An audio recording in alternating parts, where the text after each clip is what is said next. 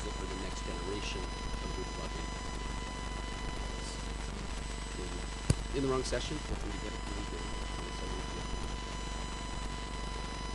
So, um, before we get started, just a quick unofficial and scientific survey. Who here has written a patch that's run on a test bot? Should be everybody, right? Pretty close. Who has ever had a problem with a patch that they run on a test bot? Almost everybody.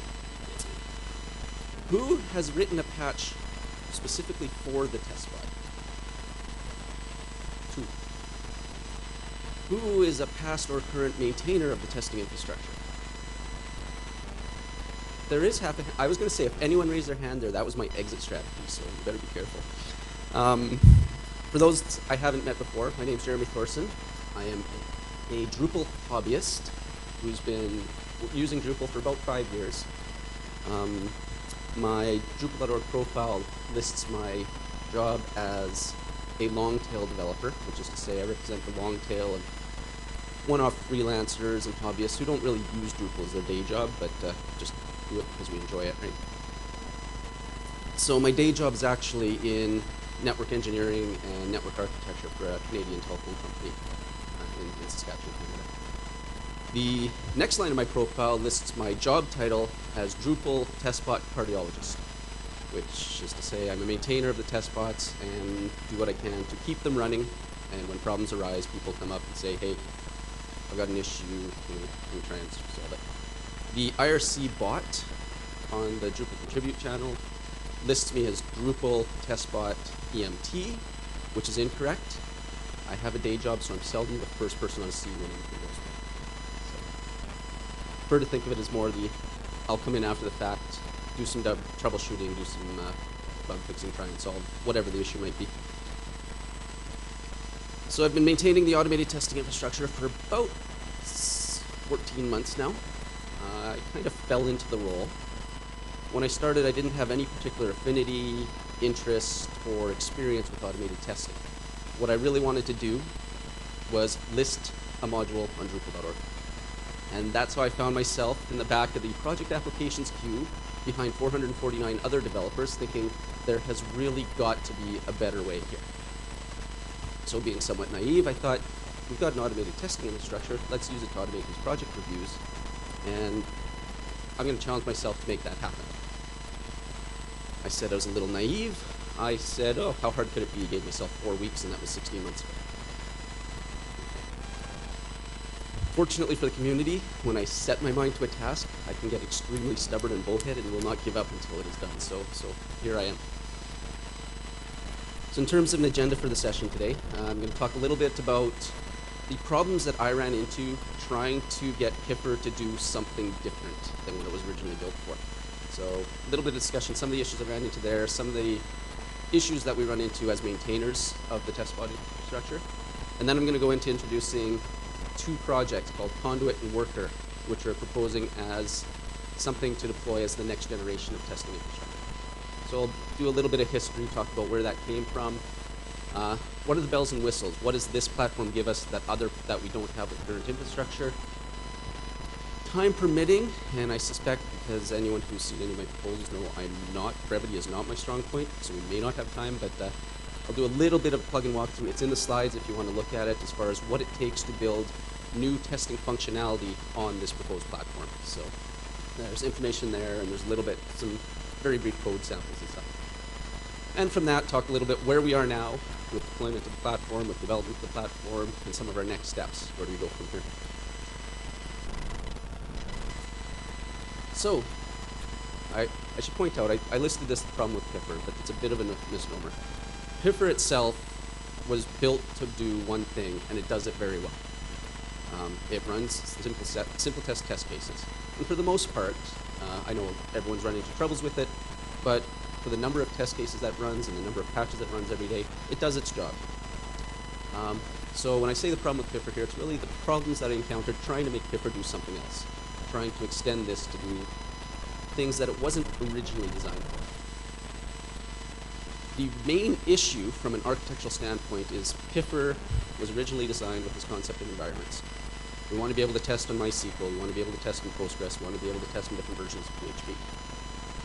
So this environment concept was built into the test bots in, uh, in the, in the, the, the, existing version of the test bots.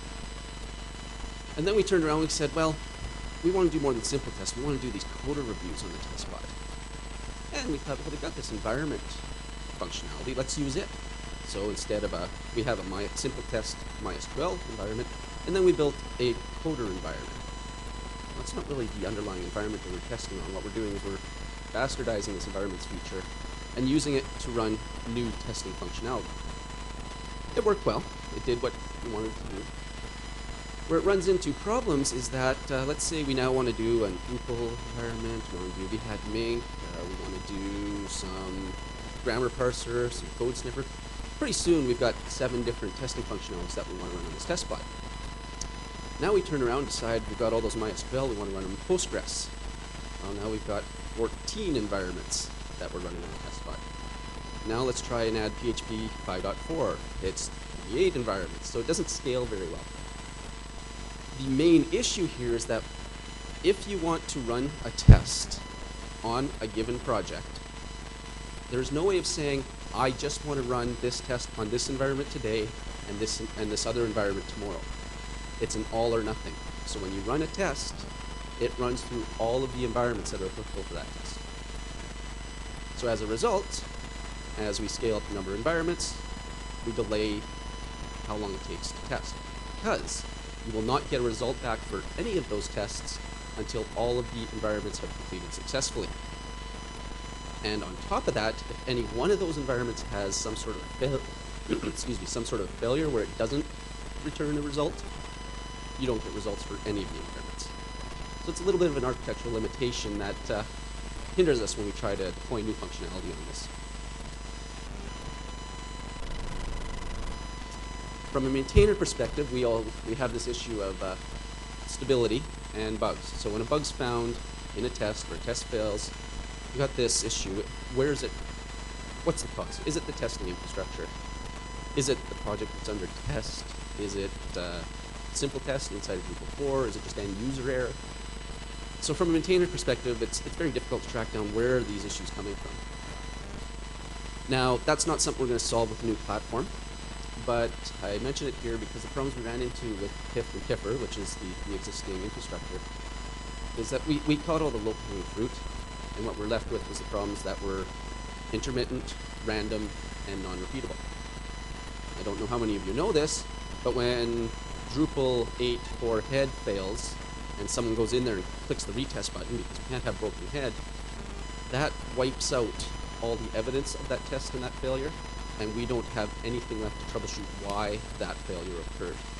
So it's, it's a little bit of an issue there. And uh, we've had a bit of a tendency lately to spectacular failures and test bot breaking failures.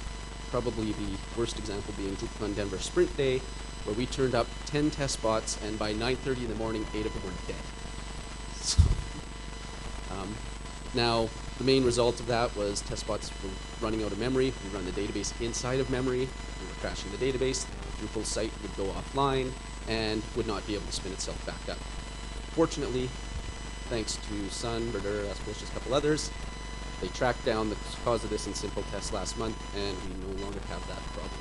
So big kudos. They made my life a lot easier. So from a maintainability perspective, the other issue we've got is this concern with dependability and the missing change. So with the push to Drupal 7, uh, Jimmy Berry, or Boombatower, the, uh, the author and architect of the existing system, had seen some of these limitations in his system and wanted to change them, wanted to re-architect it. And so he was busy in the midst of re-architecting the live system, moving from working one way to working another way, and was asked to stop touching things because as he was adjusting the architecture, he was affecting the ability for people to test patches, and that the D7 deadline was looming. So he was actually asked to step back and uh, leave things alone for a while. We're sort of in the same situation right now, where we've got Drupal 8. We're pushing towards Drupal 8. We've got uh, feature freeze coming up in December, and now we want to develop a new testing environment. A little bit of a challenge there. So the current plan is we're going to leave the existing infrastructure in place, build this in parallel, so we'll have the existing st stable infrastructure for the push to D8, but still have a platform that we can develop new features and new testing functionality. Um, and I will spare you my little bit of soapbox about uh, the learning curve for maintainers, making it hard for new people to come in. We still need new people coming in. There's not a lot of turnover or new blood ever entering the test the test bot issue queue. We could use a little bit of that. Um, the main reason for that is uh, complexity. There's no real single view of the code. There's no one place people can look because it is multiple projects. There are multiple repositories. And when you do get into it, you got sort of a complicated execution flow through the Pift project, the Piffer server project, the Piffer client project, the Piffer Drupal project. So it is a complex beast. That also makes it very difficult to set up local testing environments. Uh, we were talking a little bit earlier here about wanting um, wanting your own testbot environment. If you do want to set up a test bot for local testing, Randy Fay has done a excellent screencast on setting up your own testbot on randyfay.com. I definitely suggest people go look that up. Um, a couple other comments about the existing infrastructure. There's a lack of flexibility, which is not really Piffer's fault, but Piffer's built on project, and project is built on this concept of releases. So everything is hard-coded to release nodes right now which means we have no testing for sandboxes or feature branches or initiative branches. And that's that was really the main driver. We want to change this, and that led us to start saying, if we can't do it here easily, maybe it's time to look at a new system. We've got hard-coded test types, so we've got branch tests and patch tests, and it's hard-coded that those are the keys of the array that's passed over to QADO. If I want to add a new test type, I have to adjust the keys that array. I have to do new code on QADO, new code on the test bot, and new code on Drupal.org. And we know it's kind of difficult to get new code deployed on Drupal.org. Um, so we have to coordinate between all three components of this architecture. And the other issue that affects flexibility is the entire system is written with direct database queries.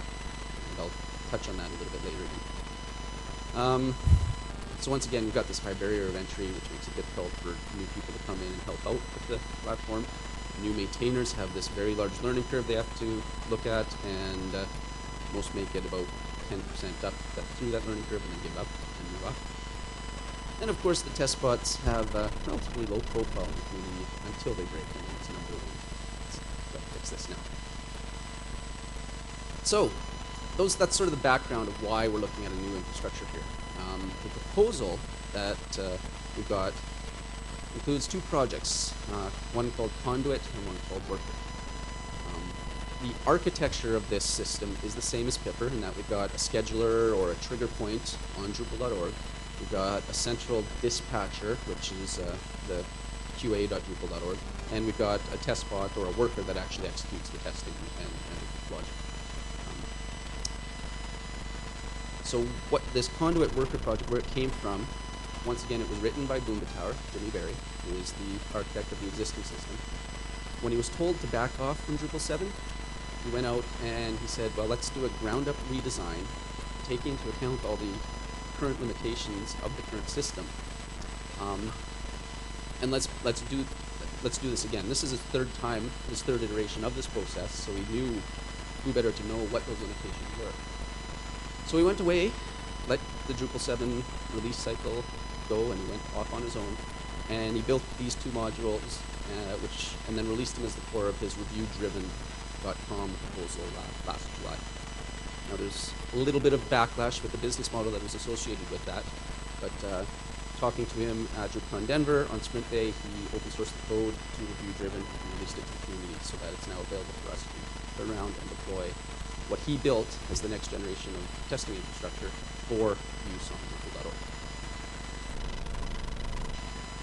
How it works, the conduit server, which is the equivalent of QADO in our current environment, hosts a, uh, an abstract structure of nested groups and jobs. So there's these groups which loosely tie, loosely map across the Drupal.org objects. So you got project, contains a repo group, contains a branch group, contains an issue group, contains patch groups. So you've got this tree structure which sort of maps against the objects on the Drupal.org. And at each level of that tree, we can define, define different properties. So at the repository level, we can define a property that is the Git URL for that repository. Uh, throughout this presentation, I'll be talking about properties. It's probably important to note, I'm talking about properties in the generic sense, not in object arrow property. Um, it's a little unfortunate that that's the terminology we use because the properties actually is a large structured array.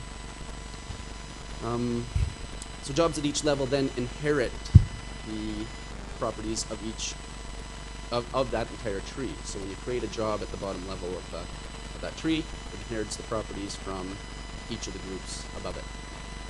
Now jobs can also override any of those, so it gives us some flexibility. We've got intelligent defaults in the tree, but the ability to override those properties for any individual group.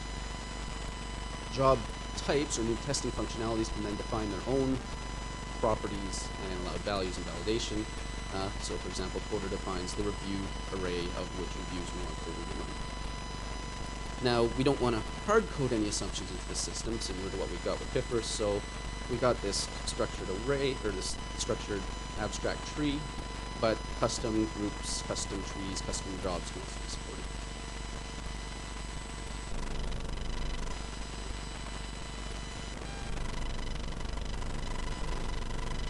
This one?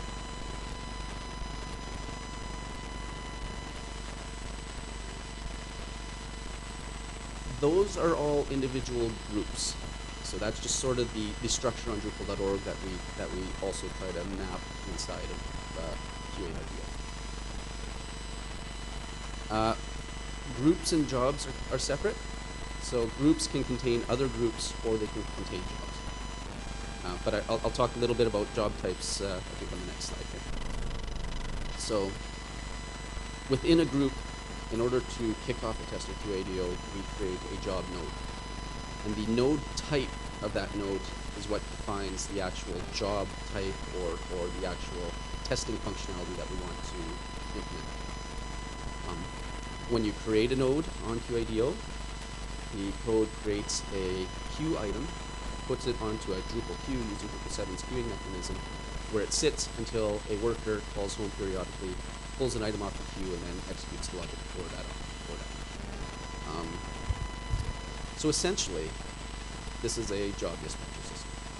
Uh, it's a custom job dispatcher system. It's got a little more complexities, a lot of Drupal.org specifics, but at the root, root of it all, it's a job dispatcher.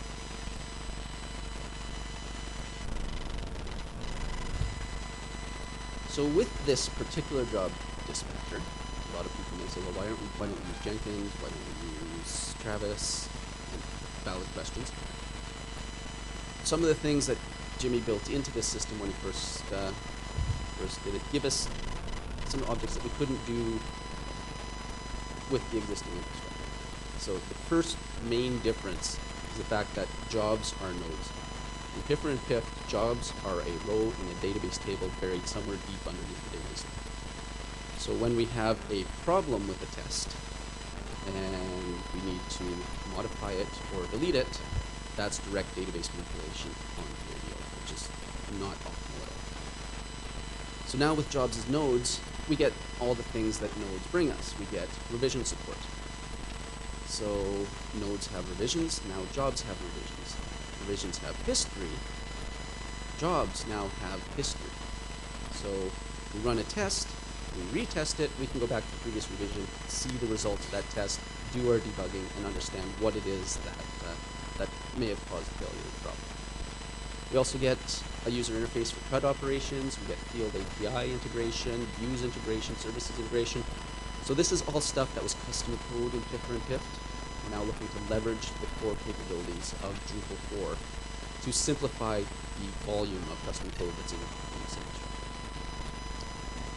The other big benefit with jobs as nodes, there's no need to understand the underlying DB structure in order to come in and build new testing functionality or to build new, or, or to help troubleshoot tests or, or work on tests.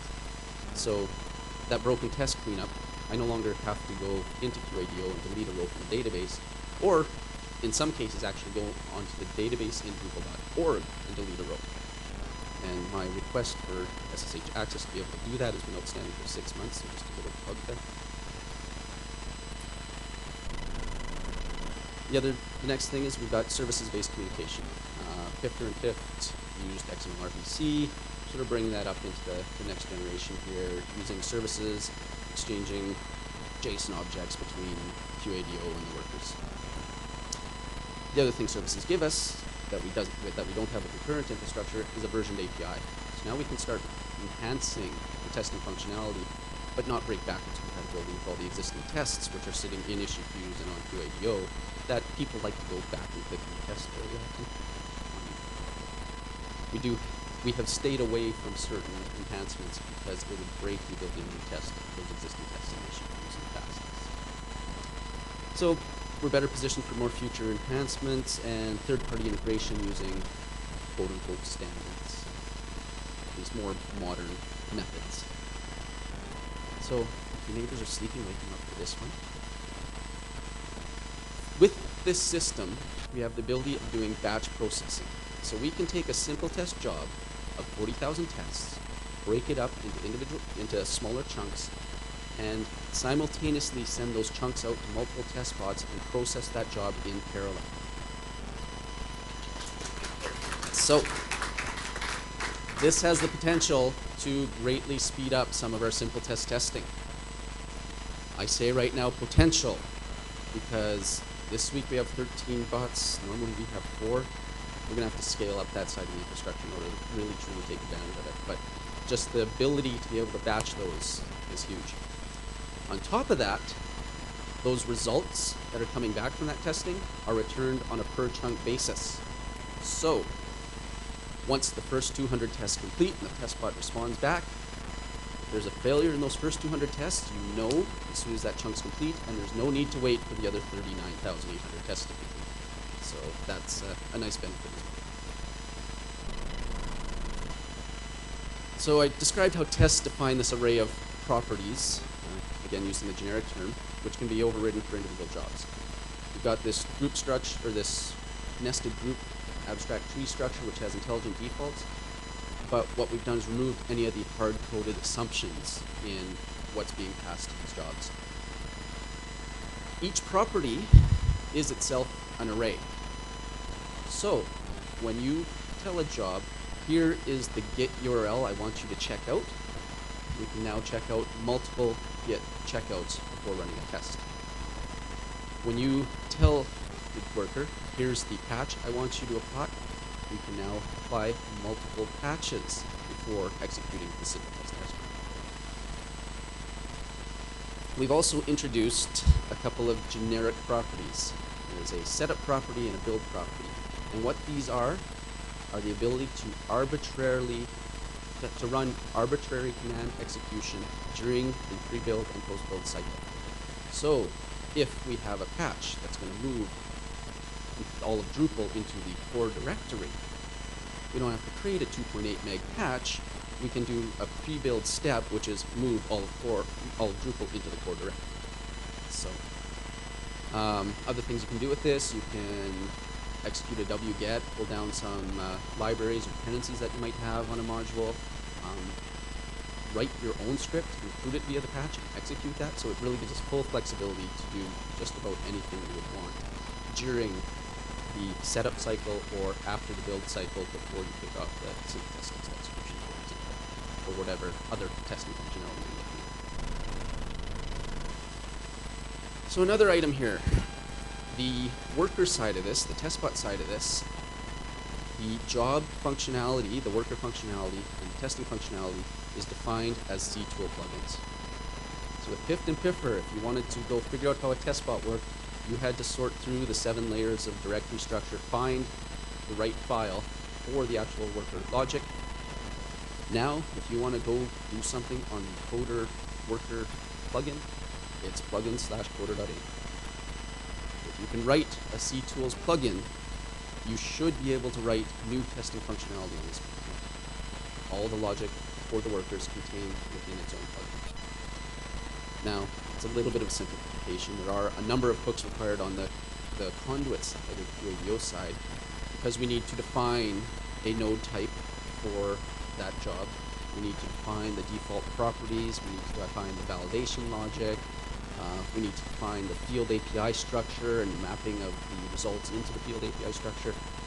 But none of this is non-standard Drupal stuff. So looking at uh, fingers crossed, this should give us a little bit more, this should simplify the ability for someone to come in out of the general community and contribute to the testing infrastructure with a new testing functionality or troubleshooting functionalities.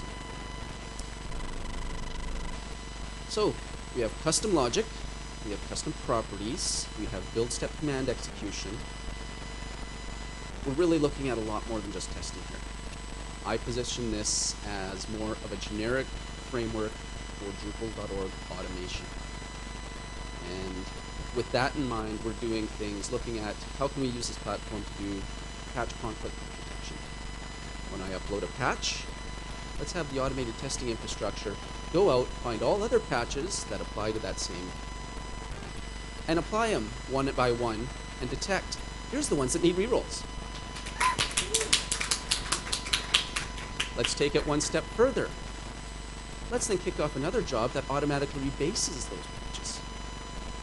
Or another job which will do automatic backports of it. So Jimmy's been quite active in trying to figure out ways he can run different sets of git commands and do some of that rebasing. So, exciting stuff. No, Jim, Jimmy unfortunately could not. So we're also looking at code quality, security reviews. Uh, I've got a plugin for the project application queue that goes in and validates your branch names and your tag names to make sure they, can, they comply with Drupal coding standards. That may sound like a really simple thing, but if you ever spent like five minutes in the project application queue, you would be amazed at how often our new contributor get this running. So, where are we at? I'm supposed to wrap up in about half an hour and give lots of time for discussion, but uh, really quickly, running through a walkthrough in how you build a new plugin. There's hook install. You need to create your custom node type. If you look at the presentation online, uh, you can actually click on the code and zoom in and, and look at the actual code from an example module that we've got. Um, you've then got hook install fields, hook install instances to set up your field API for results display. You've got your default properties and validate.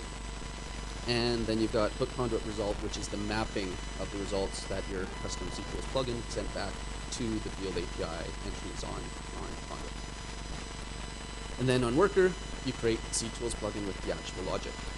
So those are the required steps. That's what it takes to create a new testing functionality on this platform. Some optional steps. We've got uh, hooks for working with the queue items as the, that are being put on the Drupal queue object. There's hooks for uh, an init hook to help initialize some of your field API. So if you need to put placeholder values, uh, like which chunk this result belongs to in, you can do some of that in the initialization hook. Uh, we've got properties alters on a job and global basis, and uh, some other hooks for executing other logic. Excuse me, when a project is, when a job is finished. So, the existing plugins that we get out of the box with the review-driven code as Jimmy uh, uh, released it. Conduit Execute is our sample plugin. Um, functionality-wise, it just executes whatever command you pass it in the command key of that properties array. So it's a, it's a good, simple project, a good one to look at for developing your own testing functionality. And it's really intended as an example rather than something for actual use because we also have those build steps in there we can do this out of the box without a plugin as well. We've got Conduit Scan, which is a very simple module that simply goes into the checked out repository and tries to identify a list of all the Simple test cases. It's really good for 7, and then we broke it. Uh, Conduit Plumber, and these are not my names, but uh, initially in review driven, there was this concept of you had conduit, which is the thing everything flows through. You had conduit plumber, which runs the simple test. It was water analogies. But what conduit plumber is, is the simple test external. It goes out and it executes run tests. And then we've got conduit coder, which is a code, which is just the default coder module that we have for Piffer. And lastly, conduit coverage, which gives you code coverage results for simple test test runs out of the box with Conduit. Some of the items that we're now looking at developing, and some of our future thoughts, I mentioned the Git repo health check for validating your your repository tags and branches. We've got the ensure that you're not using the master branch, so on and so forth. I mentioned patch auto rebasing, conflict detect- detection. Tomorrow, uh, I plan on spending an hour or two working with Patrick and klausi and trying to get Drupal Code Sniffer working on this new platform. Uh, secure code review. Uh, we could be looking at performance testing, Drupal, PHP unit, Behat Mink. The, the options are fairly endless. Again, all we need to do now is see tools plugins that have the logic that we need and make sure that we've got things like code sniffer running on the, on the worker instances. So, next steps, where are we and where are we going? I freely admit that I am a giant tease because we are nowhere near we have a team, uh, it says here, of one and a half people working on this. That's a gross overestimation. Jimmy is dedicating his 20% time at Google to Drupal's automated testing infrastructure, which is fantastic. I mentioned earlier, I've got a day job, so I've probably got about 5% of my time I put towards this. So together, we're approaching about a third of a body. And we desperately could use some help working on this, or getting this deployed. I think, I think it's fairly clear where the benefits are for this, uh, but we want more people involved in it so that we can actually make it more maintainable by the entire community as opposed to one or two people who happen to fall into the roles like I did. So we do have projects set up on Drupal.org. There's the Conduit project and the Worker project. There's also Conduit Drupal and Worker Drupal. And where those came from is that with review driven, they had the generic functionality, generic framework on one set of modules, and then the Drupal specific enhancements in another. Um, admittedly, that makes it very difficult from a discoverability point of view, and we do need to look at uh, how do we really structure this project from on Drupal.org. So this is this is the default that we got it out of re review driven. Uh, we also have our dev instances set up on Drupal org infrastructure. So we now have a conduit server that's running and two test in, on OSU hardware. So we do have some development, community available development stuff ready for us to work with it. That happened just before I went on vacation. I haven't actually got around to running a test on that new infrastructure, but we, we do have it now there for after the conference. It's a little difficult in that the OSU OSL hardware, there's all sorts of, jumping through all sorts of hoops in order to get access to it, just given the nature of their environment there, but uh, it is possible to get in and, stuff.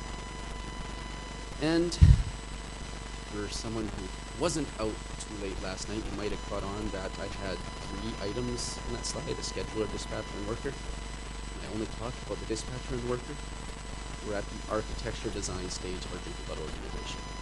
Trying to figure out how best to architect this and, and integrate with Drupal.org. Um, we're looking for the use cases, what are the other automation use cases that we can use, and some UI mockups and designs. How can we build a user interface for triggering a new test type on Drupal.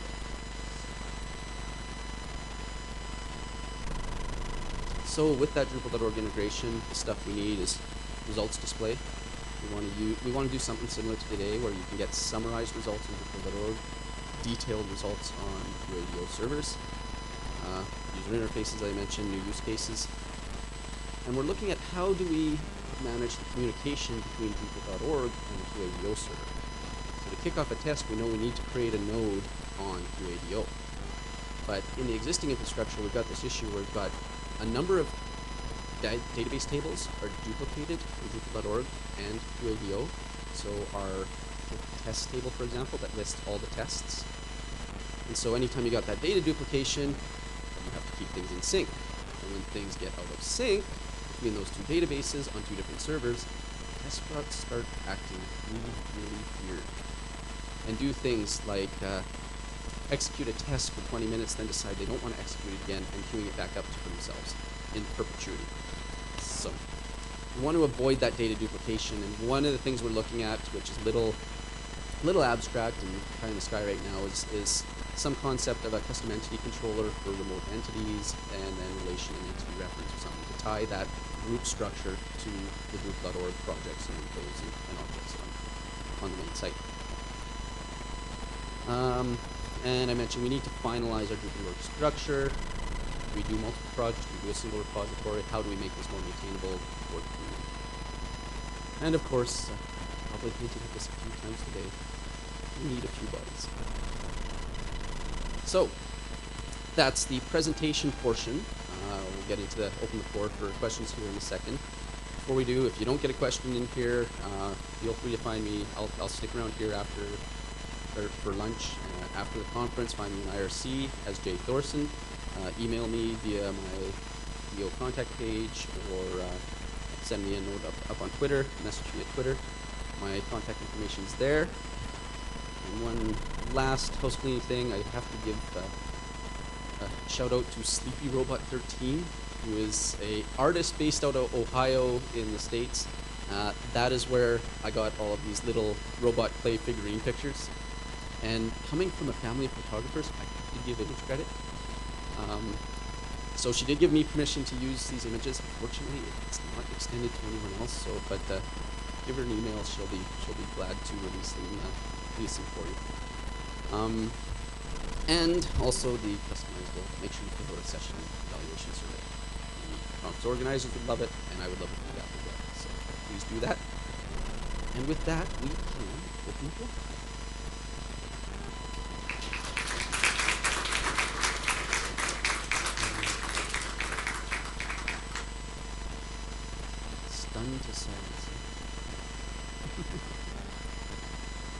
yeah, please, please use the mic.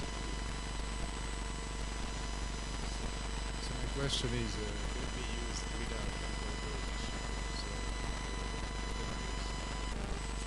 Um, Can I, yes. Uh, with the VCS property, we support Drupal.org URLs, but we also support GitHub URLs. So you can do your own projects. You need some way of creating an node in order to kick off the test, but we have services. We, we have services uh, to do that. We can, uh, and that version API helps us for third-party integration. So we're setting it up for third-party integration and non-Drupal.org use. And review-driven itself was built as a project 100% for your custom use. It supported Drupal, but it supported your own projects as well. And that was the business model that they were going for It was really a infrastructure as a service for automated. So, we do have technical support for that. Uh, how much of that we can build into our Drupal.org integration probably still remains to be seen. Um, I was wondering, and I apologize if I missed this in your slides, but um, if you could comment on the potential for testing for sandboxes. Um, I know the security teams had concerns in the past about having testing for sandboxes, but for some situations like sandboxes of core that have, for example, modules that might be moving to core in them, it would be very helpful to be able to run a full automated test suite for Drupal in a sandbox without having to make it a project on Drupal.org. Yes. So the the existing infrastructure, as I mentioned, everything is keyed to a release NID, node ID. So in order to get Drupal.org to trigger a test over on your QA infrastructure, you pass the node ID of the release to QADO. This does not work if you do not have a release, and the security team will not allow releases on sandboxes. So, so the current infrastructure doesn't support that. With the new infrastructure, the way you tell it to do a checkout is you pass it the actual repository URL. So again, that can be a Drupal.org URL, it can be a sandbox, can be a feature branch, it can be a GitHub URL, it can be a, it can be other. There's uh, don't have them off the top. I think Subversion, CVS, Git, it can other VCS types as well. So there's support for the four main ones. But yeah, full support for sandboxes, full support for feature branches, full support for initiative type projects. With this. Um, so far, uh, the,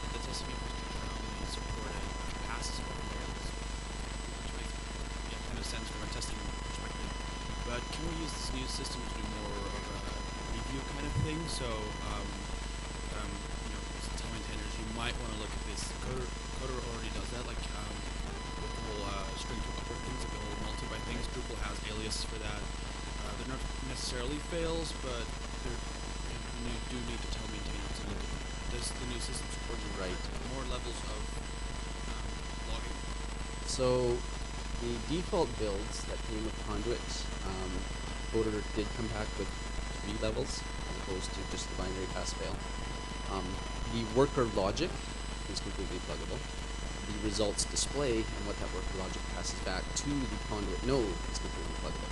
So, for example, to get repo check that I, that I mentioned, it sends back uh, any issue if it finds an issue in that you've got branch names that cannot be used by the packaging, packaging script.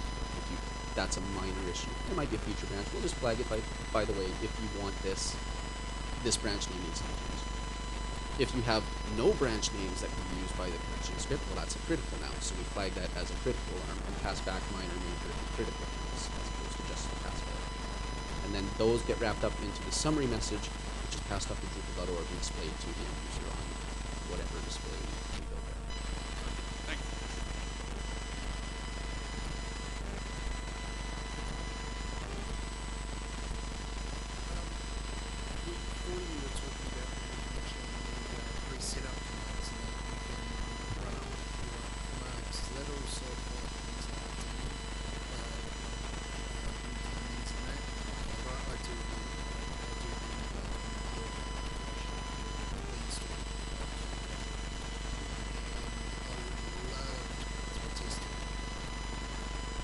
On the, on the test box, and if it is, it's being used for other stuff. Right. So we don't really have the daemon level stuff because we do uh, we do base it on here's a directory and clean up and wipe out that directory. There isn't some there isn't a mechanism right now to clean up any daemons that you might have started running. Um, but what you could potentially do is build a dedicated test bot that does have that daemon running or, or can start it. That way can set tests. Yeah. As long as it can use services to pull an item off of a queue, you can build a custom queue for those types of tests and make sure it's only pulling from, those tests. So there is some potential capability there, but we don't have it out of the box for, for daemons. The question does remind me of another thing uh, that I did not mention is on the worker itself, uh, there is a daemon that runs in the background testing its own sanity. So that when jobs fail, it detects that it's failed, it sends a fail result, and then cleans up after itself and resets the environment. That's something we don't have with current test bots, and it causes no end of trouble. So, thank you for that, also that reminder.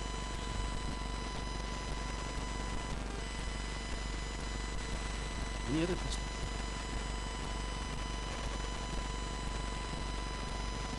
So with that, uh, please in the session evaluation, and uh, hopefully I've created a little bit of excitement about some of the features this can do, and, and, and encouraged a couple people that on those days when you're working in D8 core and you're just getting fed up and you need a little break, uh, we're more than happy to welcome you over to the testing infrastructure. So, uh, thank you very much for your time and attention this morning, and uh, hope to see some of you in our queues.